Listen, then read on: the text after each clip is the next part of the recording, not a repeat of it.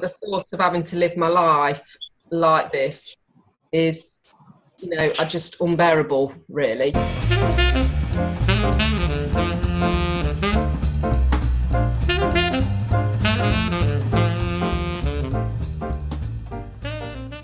How did you find out about the method?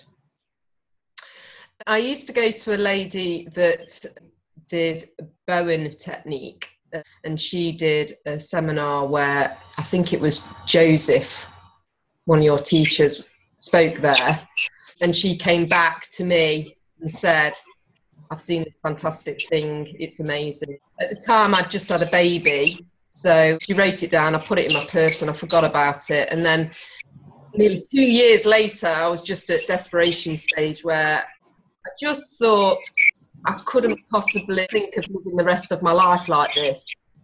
And I got in touch with her, you know, what am I going to do? How am I going to go about this? And then you came up online, and it's perfect for me because I don't do reading that well and take things in very well. And there was probably four or five of us on the course, but it was brilliant.